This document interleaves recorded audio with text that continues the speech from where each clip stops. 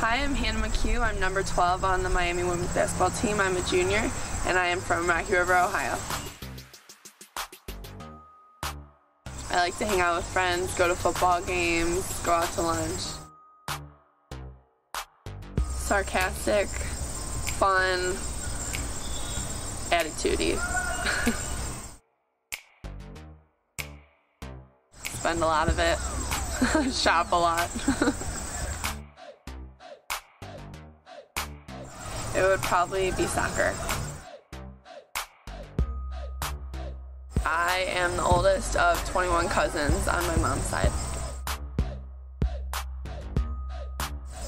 I would probably take my mom. I would go to Europe because she's always wanted to go there.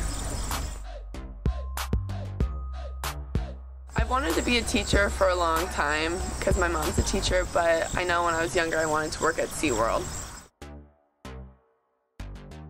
One of uh, my most embarrassing stories is when I was in the my church choir when I was younger and I thought it was really good. I was feeling myself and I asked uh, my teacher if I could have a solo and she followed up saying, yeah, sure, and then she never called back and so maybe I wasn't as good as I thought.